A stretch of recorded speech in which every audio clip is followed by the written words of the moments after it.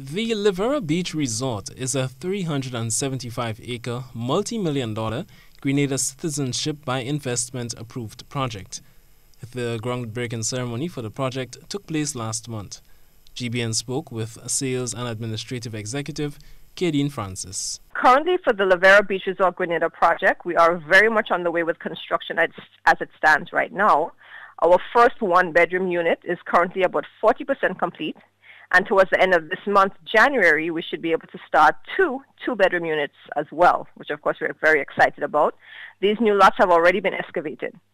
Currently, we have 37 workers on site, and by the end of February, we should have about 50 or more working on the project. So we're quite happy about that, and things are looking very nice. Francis spoke about what can be expected on completion of the project. The phase one for the Levera project should be complete by the end of this year, 2017.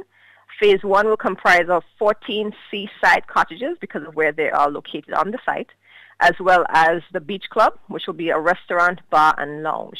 So that's the phase one, and like I said, that should be complete once things go according to plan at the end of this year, 2017. According to the plans for the project, the first phase of development will include the construction of the Turtle Beach Resort, which will encompass an 80 unit boutique hotel, 40 hotel cottages, 20 casitas and villas, restaurants including two farm to table restaurants, meeting and conference rooms, multiple pools, spa, and organic orchard.